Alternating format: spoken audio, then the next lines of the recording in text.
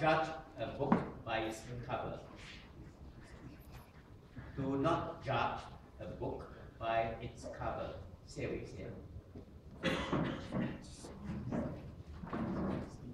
Do not judge a book by its cover. Ladies and gentlemen, from young, our teachers have been teaching us, do not judge a book by its cover. Do not judge a person by his looks. But whenever something happened in class, they always suspect it's my fault.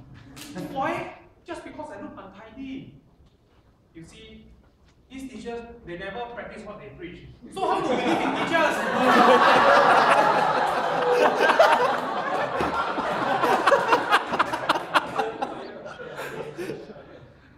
From young, I was this plump, chubby kid. I still am the plump, chubby kid. Always dirty, untidy, and messy. You see, what big things was is that I love to play outdoors, plus I have this dark skin tone. Many mistaken me from non-Chinese. Ladies and gentlemen, I ask you all, just because I'm untidy, do you think I'm a bad person?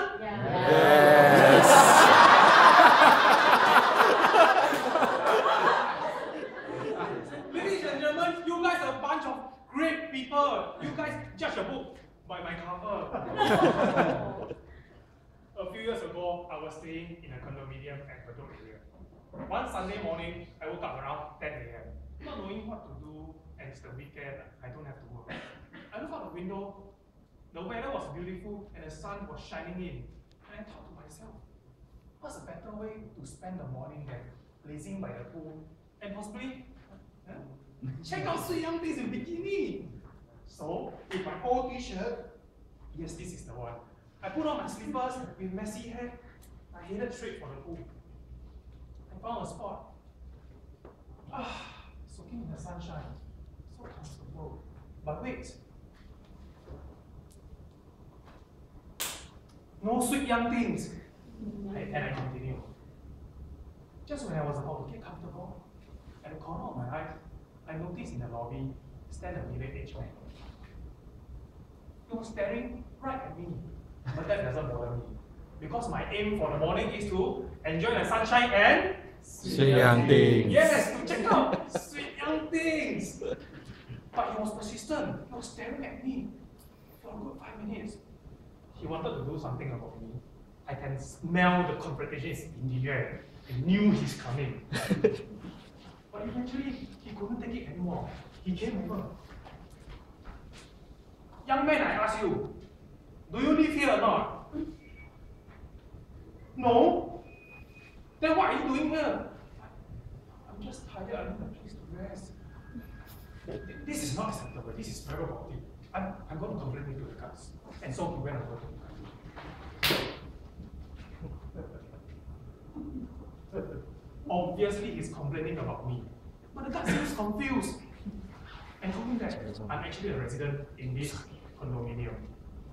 The man was confused too and he came back to me. Young man, I ask you one more time. Do you live here or do you not live here? No, I don't live in this pool. I live over there, block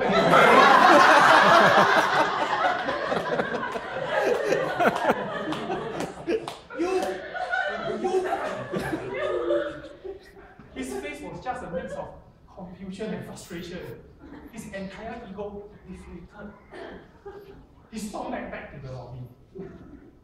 When he was storming back to the lobby, I noticed a silhouette coming out of the lift. It was this gorgeous lady, long hair, silky skin, slender legs. this big bikini. She walked towards me, she walked past me, she took a place not far from me. When she walked past me, I could smell the seductive perfume. I wanted to, but I couldn't. she sat down back facing me and she started applying lotion. oh, guys, look at that. Perfect. Hourglass body shape.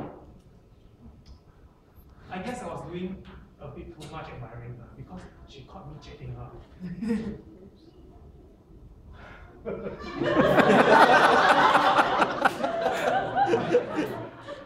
this is my lucky day. I thought to myself, hmm, I, I, I have to do something about it. Maybe check with her or even get her phone number. I have to do it. But it's a struggle inside me. It's like an angel sitting on one side and the devil sitting on the other, each persuading me to their own agenda. Wei Xian, you can do it! No, no, no, you don't have the courage to. But we said you must do it! No, no, you cannot! But eventually, I found the courage. I went over. Hello, miss. My name is Wei Xian.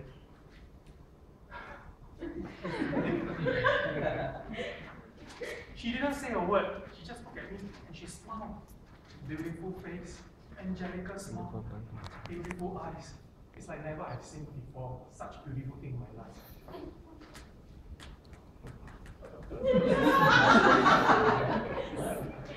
Finally, she extended her hand out. Hi, my name is Wei Xian. I, I got a shock of my life. I turned and I ran.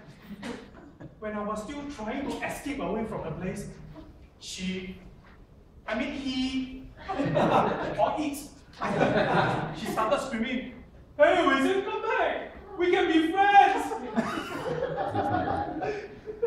So, ladies and gentlemen, I guess my teachers was right that we shouldn't judge a book by its cover. We shouldn't judge a person by his look. I may look untidy, but I'm a gentleman inside. I'm a good boy and a good student. Most of all, I'm a Toastmasters.